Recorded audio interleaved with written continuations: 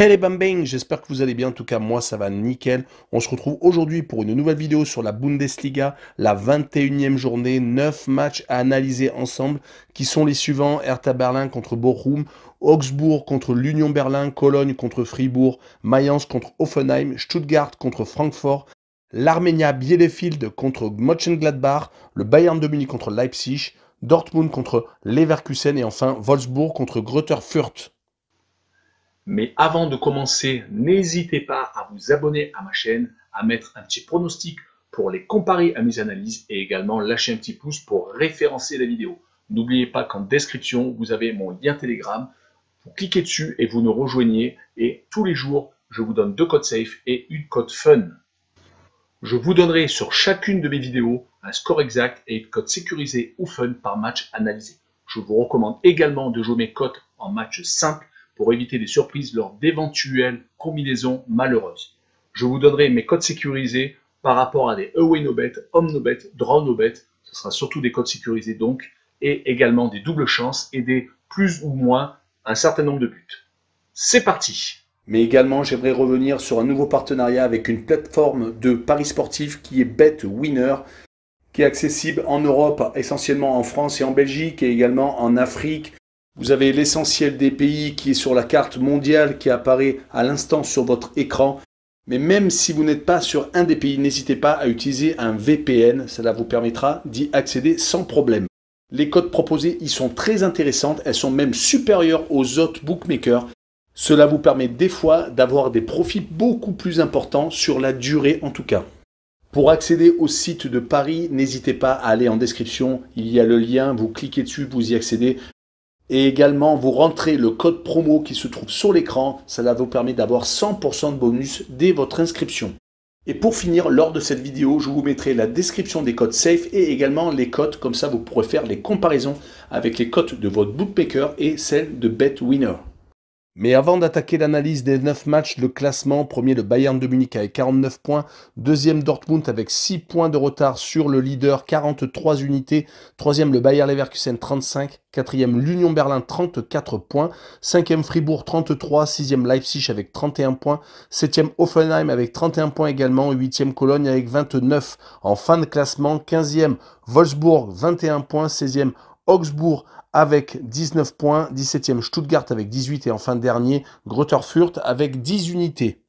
Et on attaque avec la première rencontre, le Hertha Berlin 13e qui reçoit Bochum 11e. Le Hertha vient de perdre le derby contre l'Union Berlin en huitième de finale de la Coupe d'Allemagne.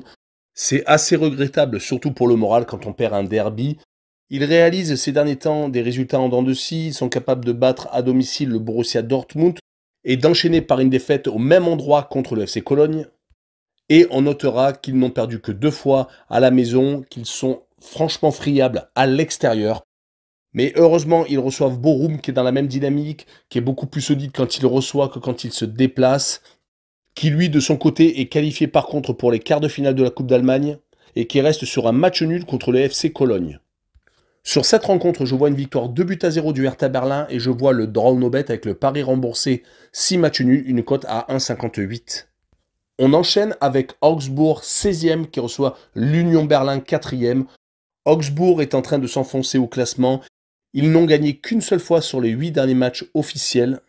On a l'impression que leur victoire contre le Bayern de Munich lors de la 12e journée a été un déclencheur négatif. Car depuis, ils ne gagnent plus chez eux. Ils sont sur deux matchs nuls et une défaite contre Bochum. Et comme malheureusement, il ne récupère pas beaucoup de points en déplacement, c'est un peu compliqué. Il joue contre l'Union Berlin qui est dans une autre dynamique, qui est quatrième du classement, qui reste sur une série très positive de 6 matchs sans défaite et qui vient de s'imposer consécutivement à l'extérieur au Hertha Berlin, se qualifiant pour les quarts de finale de la Coupe d'Allemagne, et au Borussia Mönchengladbach 2 buts à 1.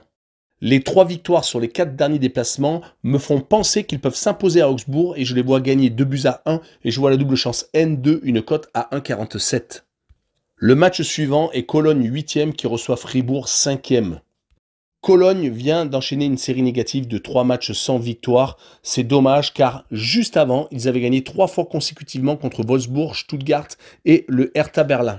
On notera qu'après un début quasi parfait à domicile, ils viennent d'enchaîner deux défaites sur les quatre dernières réceptions, toutes compétitions confondues. Ils reçoivent Fribourg qui est beaucoup moins qu'en début de saison, qui était resté invaincu très longtemps, restant d'ailleurs même la dernière équipe allemande à ne pas perdre, mais malheureusement depuis, ça s'est effrité.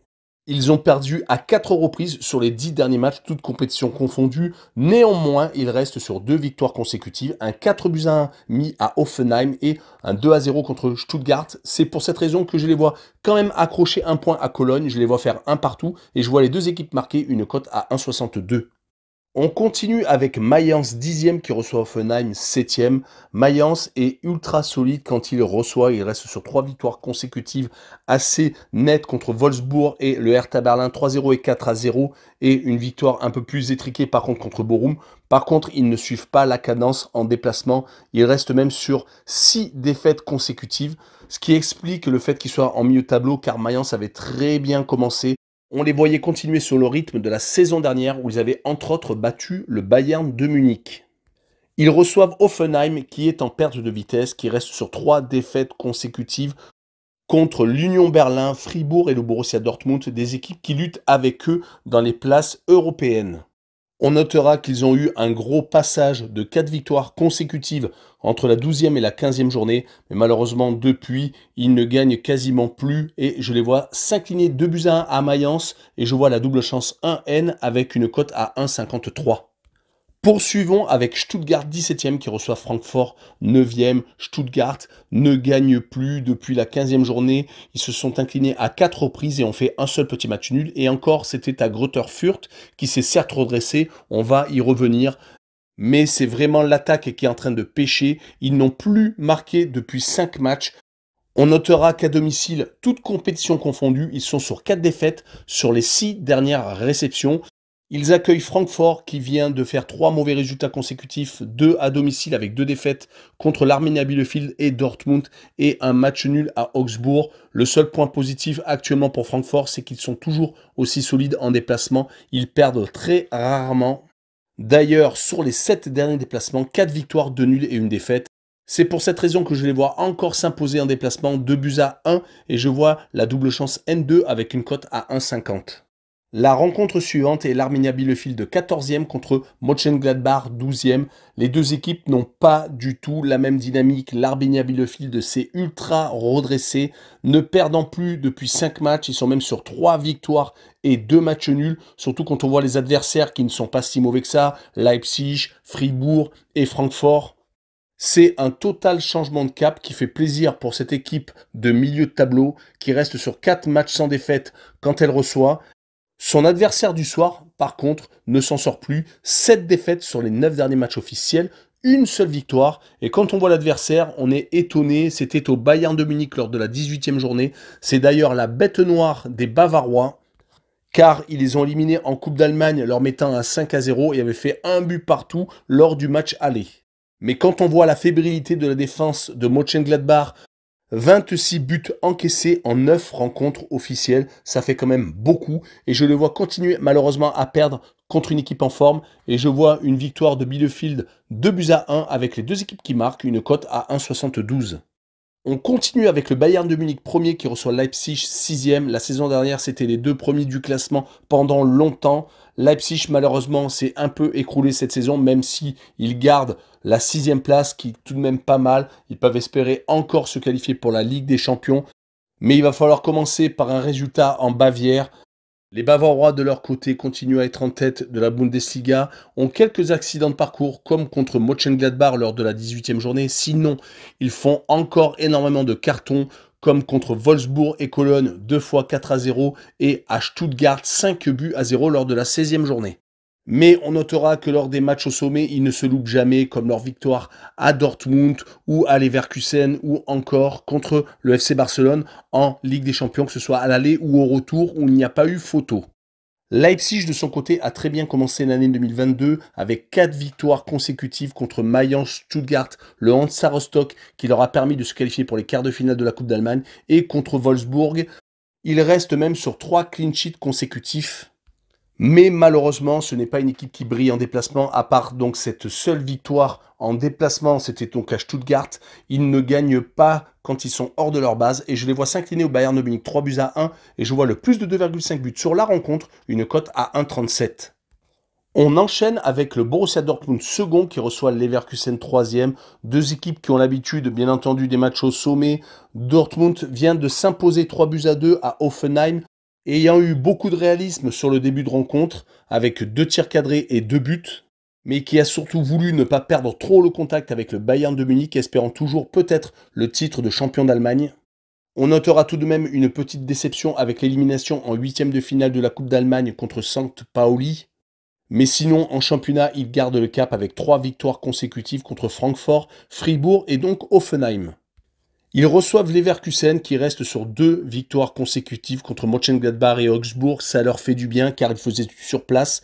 Cinq matchs sans victoire étaient venus sanctionner une mauvaise période pour Leverkusen et ce déplacement va peut-être leur permettre de continuer à retrouver de la confiance. On n'oubliera pas que lors du 28 novembre, il s'était imposé 3 buts à 1 à Leipzig, mais Leipzig n'était pas au mieux à ce moment-là. Là, ils jouent contre une équipe qui est quand même en forme et je les vois s'incliner 2 buts à 1 et je vois les deux équipes marquer une cote à 1,48.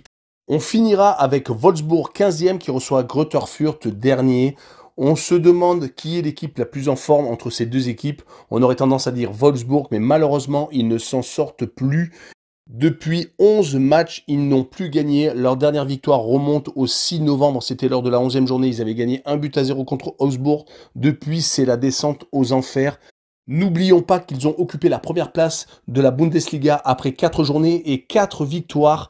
Mais quand on a une attaque totalement défaillante, 0 but marqué sur 4 des 5 derniers matchs, c'est assez compliqué. Il joue contre le dernier Grotterfurt qui est en train de se redresser, qui reste sur 4 matchs sans défaite, qui prend beaucoup moins de buts. Cela change tout car ils avaient tendance à prendre beaucoup de buts en déplacement, surtout à domicile.